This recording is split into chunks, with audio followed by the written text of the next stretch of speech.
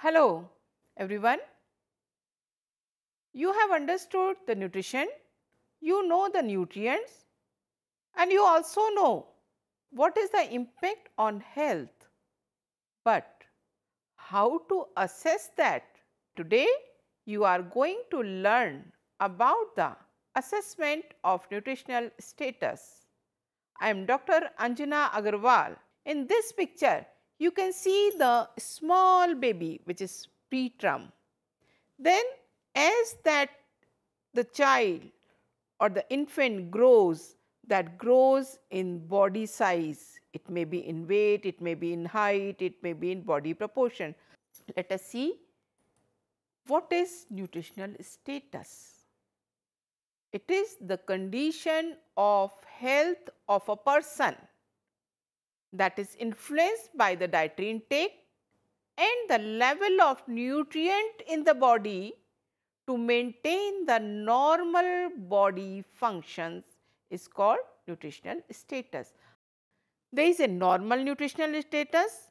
How you attain it? With the balanced food intake. That is not enough. You have to have the proper utilization of nutrient which you are getting from the food. So, in combination of the balanced food intake and proper utilization of nutrients gives you the normal nutritional status. But when these things are deviating, then what happens? It is a poor nutrition and we also use the term malnutrition, though it is a very wide term. Globally, malnutrition is so much in India and in other countries also. And why it happened? Low food intake and faulty utilization of nutrients. So, there is a disbalance. What is malnutrition? Let us understand the basic definition of it. Malnutrition is undesirable state of health which adversely affects the internal functioning of the body. And when it occurs? It occurs when the supply of energy and nutrient does not ensure the growth and maintenance of the body. What are the reasons for that? There are n number of reasons, but we have categorized some of them. Number one, decrease availability of food. How it can be decreased? There is not enough productivity of food. Number two is ignorance. There are chances that you wrongly choose the food. And in case of the children and infant, you practice wrong feeding methods. People do not know what is the right kind of feeding practices for the infants. The third is economic condition. What is that? You do not have enough money to buy the nutrient containing food. There are chances that cheap food is available, but that is very high in energy. Now, fourth, increased nutritional demand. Your body demands are very high. For example, in case of infancy, in case of pregnancy, in case of lactation. Another major reason is poor hygiene and environmental stresses, which are n number of stresses in the environment and many of them are controllable and many of them are not. You have to have the clean sanitized environment. Let us see what can happen. The consequences of malnutrition, hunger, poverty, deviation in body composition, body weight, body height, then poor mental growth. The child is not able to grow properly which may not be visible at the earlier stages, but very much reflected when the child goes to the school. there he shows the poor academic performance. Hidden hunger. There is a micronutrient deficiency. Your stomach is full, you are not hungry, but your body is hungry. That is called hidden hunger. Your body requires some amount of micronutrient which are not present in your diet. Then increase absence from the work. You keep on taking the off because you are sick. Chronic fatigue, you always feel tired. Then you keep on having the infection, keep on falling sick. Morbidity means falling sick again and again. Then mortality. Some of the sickness can be fatal also.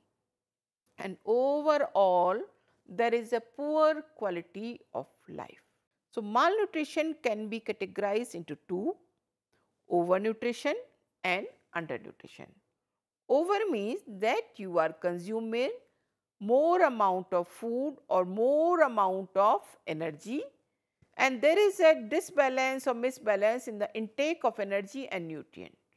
There are chances energy intake is more but nutrient intake is less and you may be overnourished, but inside you are undernourished. Undernourishment is definitely due to the poor dietary intake or poor nutrient intake. Now, how we will understand how to assess these things? Mainly, there are three methods. Number one, measurement of physical body in terms of weight, in terms of height and in terms of the body circumferences. In body circumferences, it can be your girth, body circumference, it can be your head, it can be your arm which is called mid-arm circumferences. Second method is dietary intake. Third is identification of nutritional deficiency diseases. In this you can see the eye, on the side you can see the black spot.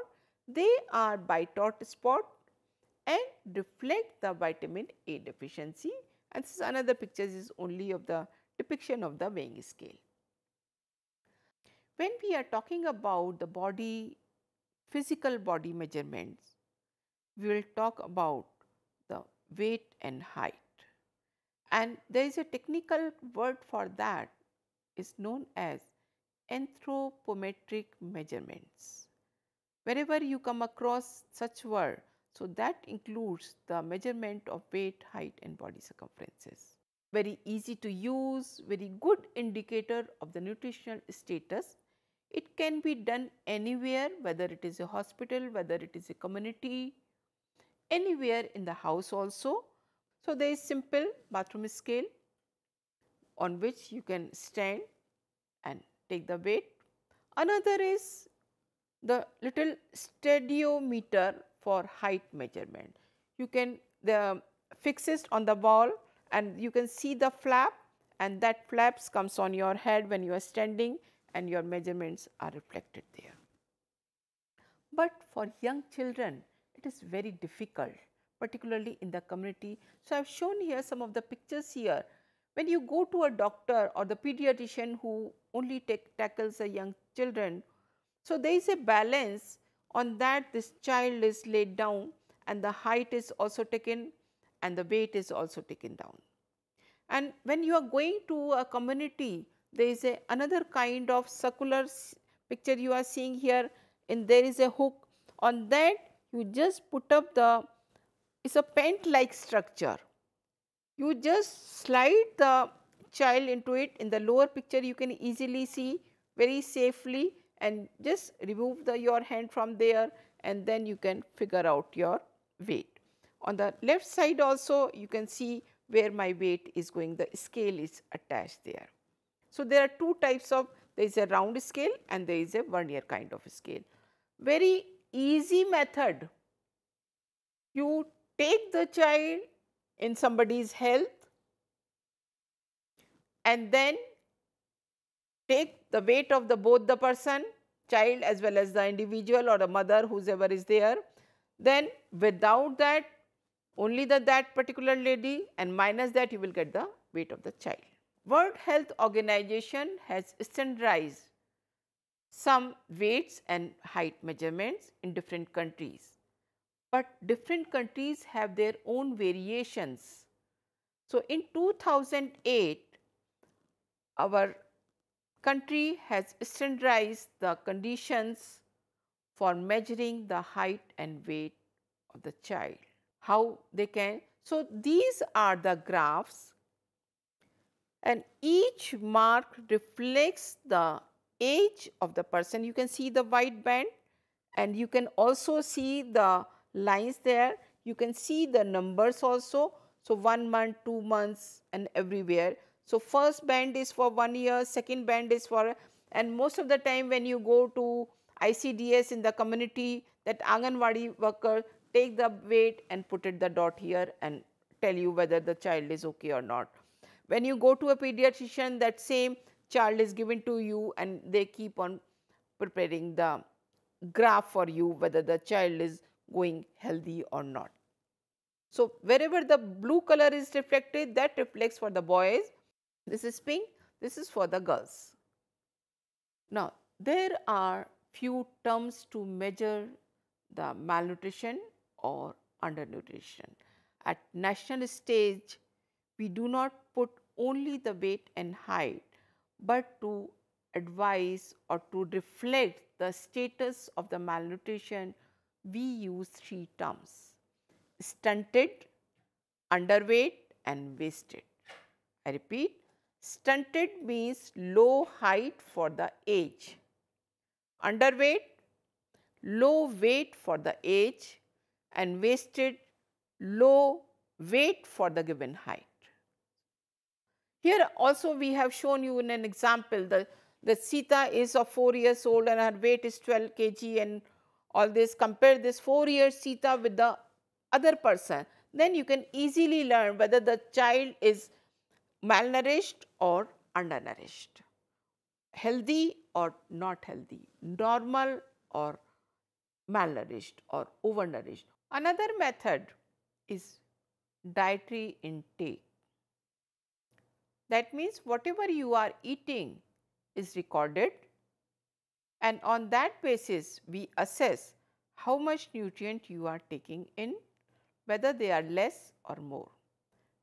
And dietary intake is a recording of all the food items consumed in different meals in last 24 hours.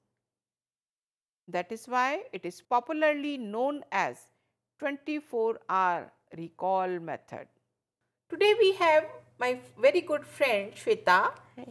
Hello. Hello, Uh, I will just take few minutes of yours. yeah, sure. So it will help our learners how to take the 24 hour recall method. Oh, okay, all right. So you just memorize what you have eaten.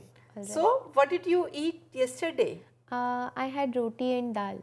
Okay, no vegetables. No, I did not take any vegetables. Uh, do you remember how much you must have taken? Uh, I think I had one katori dal and one chapati. Okay. Yes. In a specific reason you don't like the vegetables or any other reason? No, I very much like, but I did not get time to cook the vegetables. Okay. Yes. So, uh, in that case, whatever you have eaten at different meals, can you tell that? In breakfast, in lunch, in tea, and this. So, uh, friends, when you assess all these things, you must note down what what she has eaten in breakfast, what she has eaten in lunch, what she has eaten in evening tea, and what she has eaten in dinner. And you must also ask in otherwise besides these major timings or major meal timing what she has eaten in. So this is the way you need to take the dietary intake or 24 hours recall method. Thank you Shweta Thank you, ma'am. for giving your precious time Thank to you. us. Thank my pleasure, ma'am. Thank you.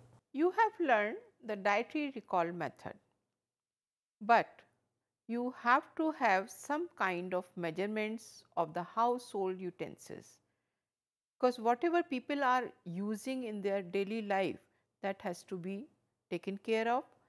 But for certain measurements, National Institute of Nutrition or NIN Hyderabad has given certain measurements what can define how much is a tablespoon or teaspoon or a cup or the katori or plate and etc. Few of the things I would like to show it here.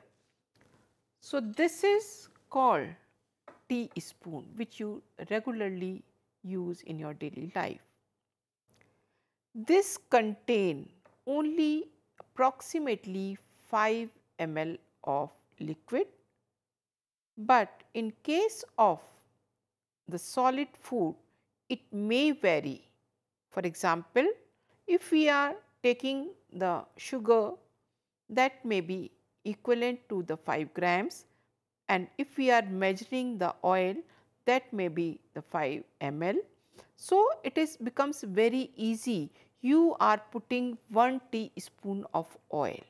So, you can assess I have taken 5 ml of oil and then you can further assess the amount of nutrient it may provide.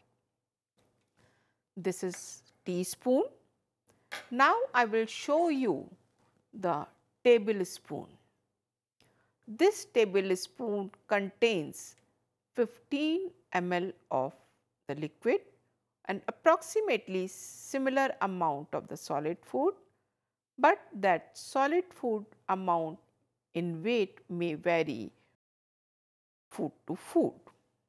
So, this is tablespoon. See these are two katoris.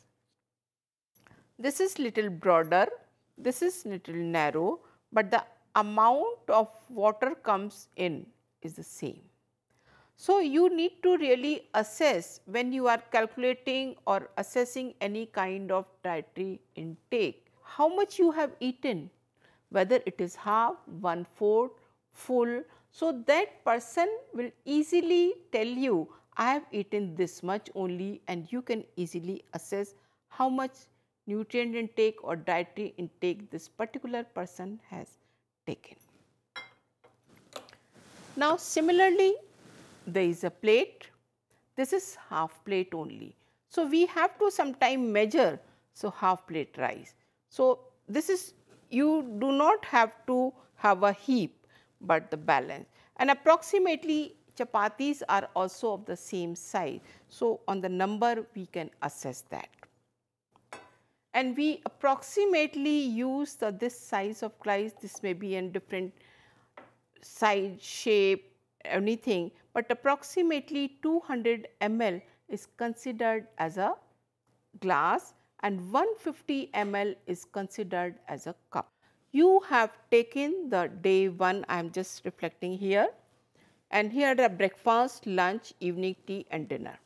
In one column you are seeing the food item, another column immediately you can understand what kind of nutrient this food can provide. So, in breakfast this person has eaten on day 1 the milk only. So, it you have the protein intake. Then in lunch this person has eaten the rice and dal. So, this means this person has eat, taken the carbohydrate and protein. In the evening this person has eaten some kind of sev. So, sev generally contains some amount of besan or some that is from pulse or the chana flour is called besan.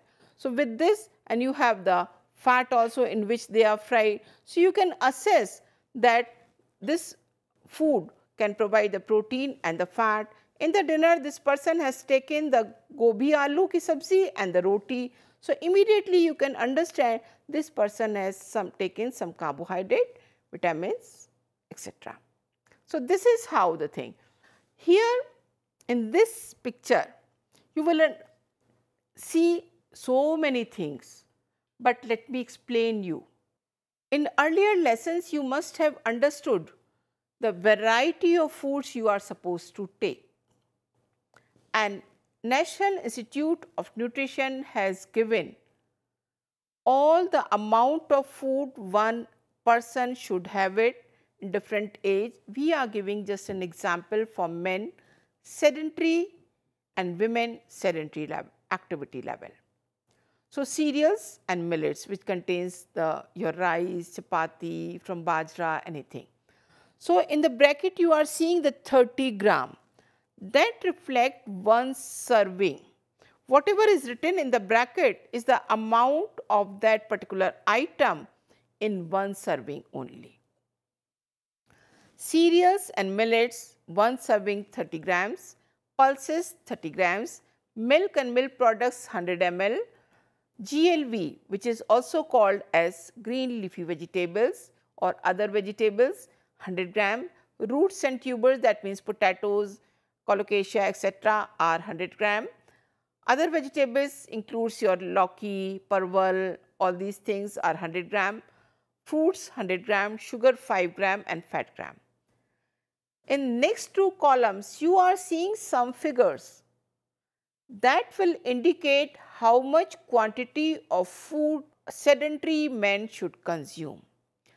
If cereals are 30 grams multiplied by 12.5 should be consumed by the sedentary men, but women only 9 into 30 gram that means only 210 grams of cereals is more than enough for the lady. Pulses 2.5, 30 into 2.5 that means approximately 75 gram pulses has to be consumed every day by a man but only 60 gram by a woman. Milk products 100 ml 3 that means 300 ml by a man and 300 ml by a woman. Green leafy vegetables 100 gram by both then roots and vegetables 200 grams by both and other vegetables 200 grams. So, on an average you will see approximately 500 grams of vegetable should be consumed by an adult on a daily basis. Fruits 100 gram, sugar only 5 into 4 that means only 20 gram and when we are eating multiples of it. Fat 5 into 5 that means 25 grams of fat is more than enough whether you eat it, whether you cook into it, whether you fry it that is up to you. But you should eat on a daily basis only 25 grams by the man and only 20 grams by the woman. So, that is how if you assess how much food I have to eat on a regular basis, this table is given by the National Institute of Nutrition and these are the recommendations for the adult men and women who are going to the office and doing the sedentary work. So, you have learned two major methods, one is your body measurements, second is your dietary intake. Now, we will go the third method of assessing the nutritional status that is identification of nutritional deficiency disease and we will identify them by only the physical signs and symptoms and common one are protein energy malnutrition, vitamin A deficiency, anemia which is due to iron deficiency disorder and iodine deficiency and these four are not only common in our country, but all of the world in various corners. So, these are some of the nutritional deficiency diseases we will study one by one. First, we will talk about the protein energy malnutrition, which is very common in children and it can be categorized as marasmus and kwashiorkor, which you can see in the picture. And now we will learn about their symptoms, how you can identify whether this child is suffering from kwashiorkor or marasmus. Now, this is the particular typical picture of kwashiorkor. The stomach is very big and legs and hands are very thin. This is a typical case of kwashiorkor. We are not talking about what can happen, but we are trying to identify only through the symptoms low in weight and have frequent episodes of infection. edema is typical symptom of the kwashiorkor and edema on feet and face. You will see the good Goal-Mottol kind of face, the big swelling on the feet and when you press this your finger or thumb goes inside and mark a depth. That is an indication of edema. Pot belly, fatty liver which you cannot see inside, but there is a fatty liver which is drawn by your doctor. Patchy hair, you have the hair here, you have the hair here, you have and the moon shaped face. Now, another is the case of marasmus not able to react any stimuli, the child is sitting like this. Whether you are talking, whether you are giving the food or something, the child is so weak, so weak that that child cannot react to any kind of stimuli. Frequent infection illness is a regular phase, rib cage is visible, total hunger, edema is not there, that is the difference between the kwashiorkor and the marasmus. No fatty liver and the skin is hanging.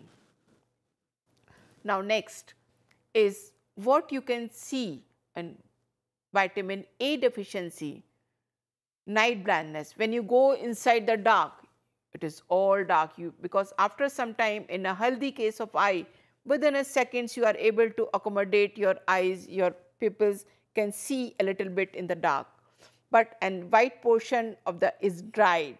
Immunity is very poor and internal organs of your body and the skin of that is dysfunction. You get frequent episodes of infection. In case of anemia, the, you can see the two hands.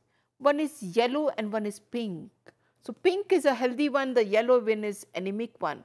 There is a constant tiredness, loss of appetite, shortness of breath even on slight exertion, paleness, brittle. And the another very important is your nails are very brittle. They are just broken down and, and there are sharp edges on the nails. Irritability poor performance and the brain development in childhood is not there which is not visible at that age but very very seen when you grow and go to, goes to the school, school when you are anemic. In case of iodine deficiency, there is a constant fatigue, iodine because your thyroid, your basic organ which controls the or regulate the whole body function is not properly functioning. We are mentally retarded, particularly the children, poor brain development, stunted growth, poor concentration and there is a called the swollen neck. You can see in the picture, the goiter is there. I will just mention few prevalence cases in our country wasted children 15.5, underweight 47.5 percent, stunted 45.5 percent and this data is from the National Family Health Survey which is done in 2006. Other is number of women with anemia and this data is very updated. There is 55 percent of the women from India are anemic. Number of children pregnant and lactating mothers with vitamin A deficiency 40 percent according to the WHO and according to the UNICEF 2000 iodine deficiency 18 million people in our country are having. So, you can see the panorama of the deficiency. So, this is whole about how you can assess the nutrition status or health of a person through three methods. One is taking the body measurements, taking the dietary recall and identifying the deficiency symptoms and you can handle the patients or the person accordingly whether it is in a household, whether it is in community, whether it is in clinical practice or in hospitals. Thank you so much. I hope you have understood the whole lesson how to assess the nutritional status. Thank you once again.